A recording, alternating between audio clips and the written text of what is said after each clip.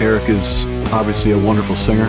He knows everything, you know, musically. Where he, I would say, where he really helped the most was with the vocals.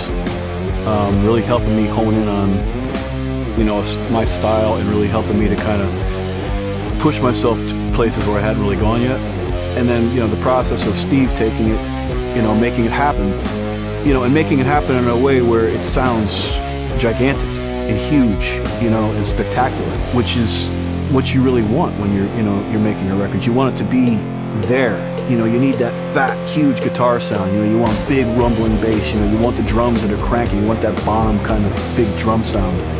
Um, the vocals soaring over the top. You know, and you know, Steve was able to kind of rein all that in. You know, make it all one good, clear package. You know, and uh, it's not easy to do.